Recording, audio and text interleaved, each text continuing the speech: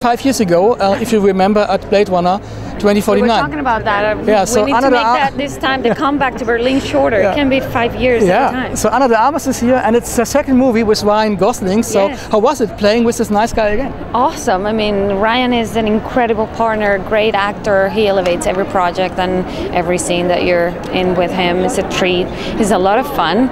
Um, so it, it was great. Um, and the dynamic between these two characters was completely different from the other movie.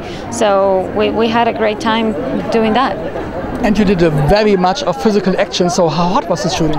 It was pretty hard, you know. It, it, we were training for about three months, maybe.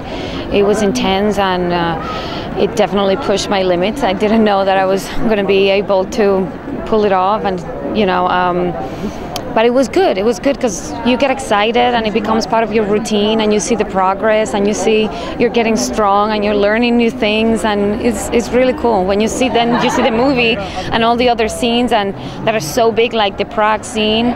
You shoot your part, but you don't see what else is going on, and so much of that is CGI as well. And then you can't imagine the final result, and then you see it, and it makes you very proud. Thank you so much. Thank, Thank you, you so everyone. much. Of course. All Thank the you. best no, for the good. coming Thank out you. of the movie. Thank you. Have fun. Bye.